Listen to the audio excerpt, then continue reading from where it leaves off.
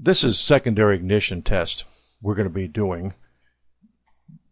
We're going to be using a case study that includes secondary ignition along with mode 6 and some other things. Where we see fitting into a diagnostic scheme with this is after you have done your fuel pressure checks, after you've done your scan data analysis and you've checked your codes, and you need to get some more in-depth information about why the vehicle has a misfire, either it has a code or no code, this is where you go. Now this program is part of our misfire diagnostics. It even backs it up a step further and tells you to go back and study all the clues that are stored in the trips and other stuff of OBD2. So the total misfire course is going to be big enough to include all the things to help you verify a repair has been effective and to see how long a, problem has been present. So utilize the total course, but this will give you a good start on secondary ignition analysis using a digital storage scope. We're going to start our case study exactly where you would, interviewing the customer. Now, in truth, we didn't get to a direct interview here, but we heard what they said secondhand, which is what most technicians do. The customer just simply stated the vehicle drives bad. And a test drive revealed that there is an engine miss, but there's no MIL illuminated. So we have a motivated customer. We also have a cheap customer. It's the same song you've heard before. Single mom, only vehicle she's got, she needs to have it. A very realistic situation. We need to solve this as inexpensively as we can has been the request from the customer. We're going to honor that request and show you some things we're going to do to go a little beyond there to give ourselves some protection from doing an inexpensive repair. We looked at scan data. Good starting spot. There's no codes. The scan data, the only thing we find is long-term fuel trim is up to plus 9%. Now, we say on a vehicle like this, we like to see it under 10, and it just barely made it under 10. But one of the things we also tell you about specs, when you got something hanging on the bitter edge, well, let's see what we got. Where would you start? What would you do? You have all the information you're going to have about this vehicle. We've driven it. We've got no codes. Scan data looks normal. We all start by checking codes, and they're not there. We looked at Here's our scan tool. We hooked it up. No pending codes. Nothing even holding out, fixing to show up. So what we did next, since this is a Ford, we went to mode 6. Now in Ford mode 6, we've got a bunch of misfired TIDs identified down here, and one of them is red. Now that's a good thing. This TID 56, SID 00, is way over spec.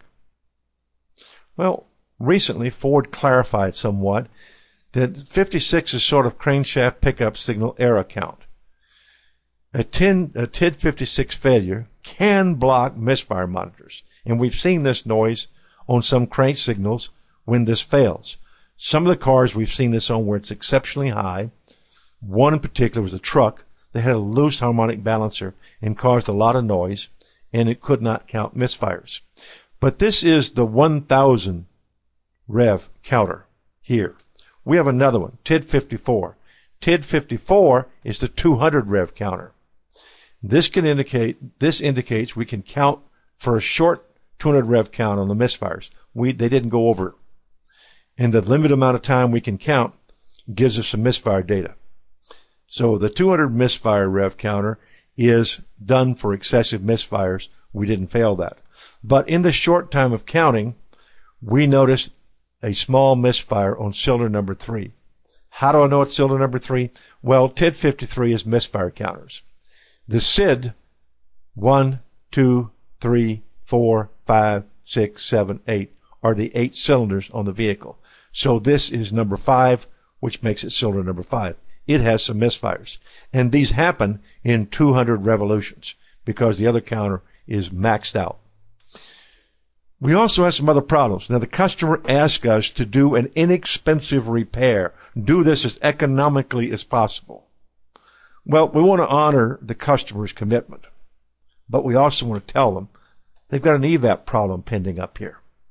If we fix this misfire, it's possible you could get an evap code coming back later.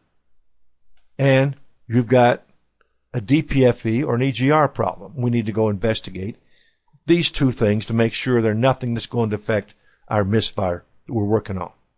But at the least, we're going to verify that it's not going to be a problem, and then we're going to inform the customer. Have your service advisor tell the customer, we're on the way to fixing the misfire. But we found some things in the EVAP. We found some things in the EGR system. Do you want to go ahead and fix those now? Or do you want to wait until they turn the check engine light on? You've asked us to do an economical repair. We've got to alert you. You've got two pending problems that may not be corrected when we fix the misfire.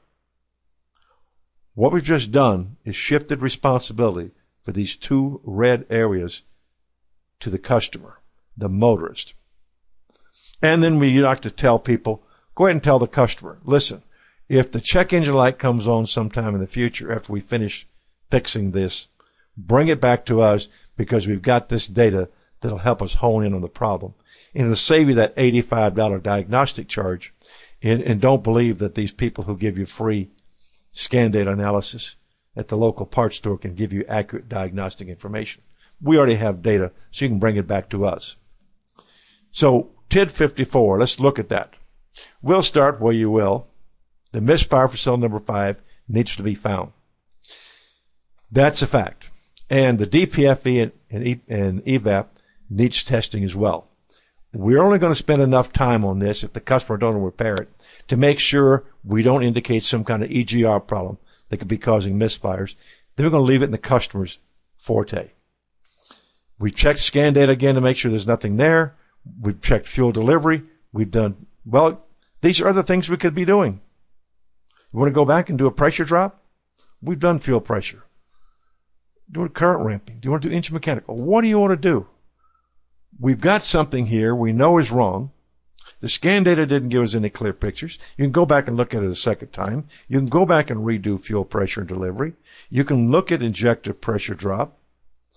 You can current ramp the injectors and DIS module. You can do engine mechanical. All these are viable. What we're going to do is we're going to start with secondary ignition. And we think that's an important place to start. So we're going to start our secondary analysis at this point because we've done all the things we could that are easy and necessary. Now it's time to get a little more advanced in the diagnosis.